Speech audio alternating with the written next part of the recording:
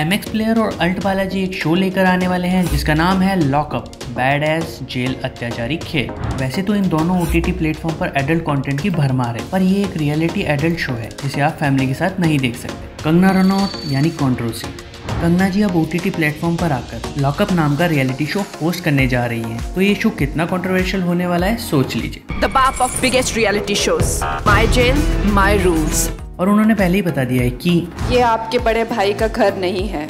मतलब उन्होंने सलमान खान को टीज किया है या उनके कहने का मतलब है कि ये बिग बॉस जितना साफ़ सुथरा शो नहीं है। भाई जितना ज्ञान बांटते हैं कंगना नहीं बांटने वाली और उकसा के भसड़ मचाने वाली है। तो hi guys welcome back to our channel what to view यहाँ 16 कंट्रोवर्शियल कंटेस्टेंट्स को लिया गया है, जिन्हें आलिशान घर में नहीं, बल्कि जेल में बंद करके रखा जाएगा। वो भी हैंडकफ्ड और उनको छोटी से छोटी चीज़ के लिए करने पड़ेंगे टास्क मैडम, एकता कपूर है इस शो की डायरेक्टर प्रोड्यूसर अल्ट बालाजी और एम एक्स प्लेयर एकदम फ्री में ये शो 72 डेज़ लाइव चलाएँगे, जो कि अनसेंसर्ड होगा। यानी गाली गलौच मारपीट, रोमांस, जो भी गंद कंटेस्टेंट्स को मचानी है, सब अलाउड होगा। और आप देख सकेंगे, शायद यहाँ वॉशरूम में भी गेट नहीं है। पता नहीं, वो तो शो में ही पता चलेगा कि एवरीथिंग यहाँ खुल्लम खुल्ला होने वाला है या नहीं।